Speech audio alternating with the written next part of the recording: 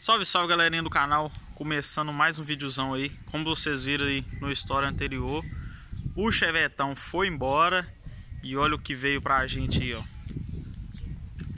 Golzinho G3 O palhozão nosso de lei tá aí, né? Esse aqui é um carro que nunca vai embora no canal Se Deus quiser, é um carro que eu nunca pretendo vender Que é o meu palhozinho, né? Que é o meu projeto aí que é meu carro do dia a dia. E esse aqui é os meus hobbies, né? Minhas lasanhas. Esse carro aqui, ó, era do meu primo há uns 5 anos atrás. Ele vendeu, o cara sumiu no mundo, não transferiu o carro, nem nada. E nós ficou caçando esse carro. E esse carro tem um diferencial que eu falei com o meu primo. Se algum dia nós achar aquele carro e você não tiver interesse de pegar, eu compro ele. Eu tenho interesse nele. É, vou entrar dentro dele aqui, vou mostrando para vocês e conversando. Vou abrir a porta por aqui porque de lá não abre. Vou mostrar aqui, ó, ó como é que o carro tá sujo. Quem lembra do Chevette? Quem lembra do Fit Uno? Do jeito que eu peguei?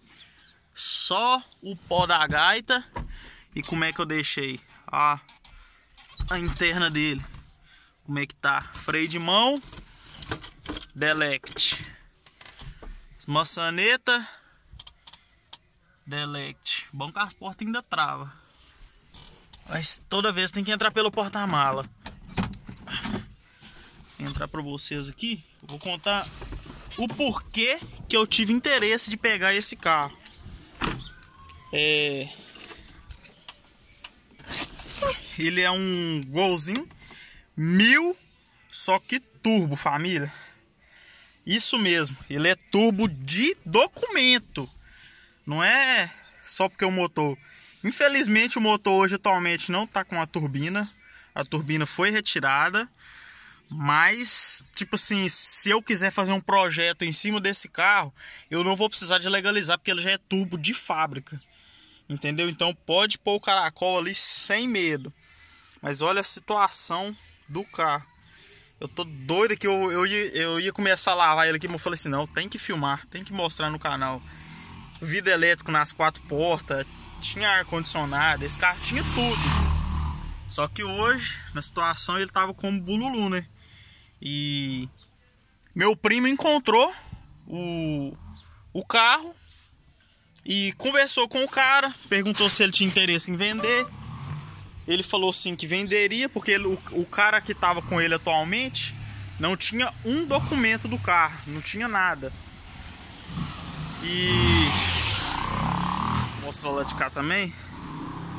Aí nós começamos a negociação com o cara, porque meu primo não deu queixa de, de roubo no carro nem nada, porque é, ele não, não achou viável né, dar, dar queixa de roubo esse trem e preferiu ou o carro pegar quando o carro tivesse alguma multa, ele ia dar a queixa de roubo, porque deu multa no carro, mas há tantos anos o carro não teve multa, não teve nada.